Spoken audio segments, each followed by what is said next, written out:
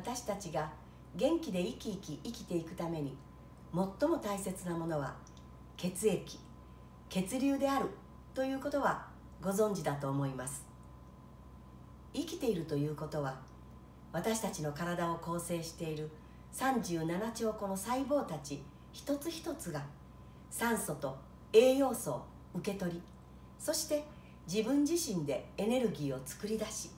そのエネルギーを使って機能するということです。例えば胃の細胞であれば胃酸を作りそしてタンパク分解酵素のペプシノーゲンを作ります。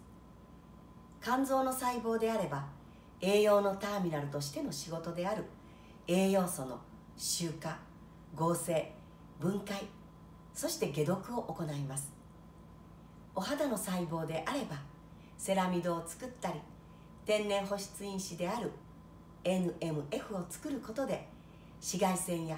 外的刺激から肌を守っています。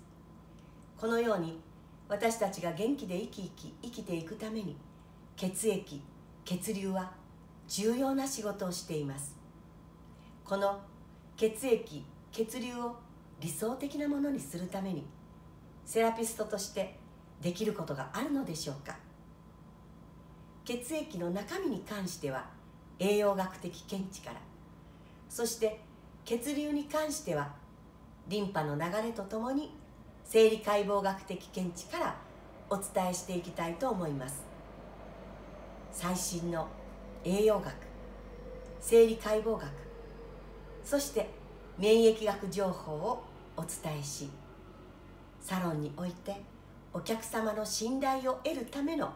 プラスアルファの情報をお持ち帰りください。わずか1時間のセミナーですがお客様のためになる情報をお届けできればと考えています。どうぞご期待ください。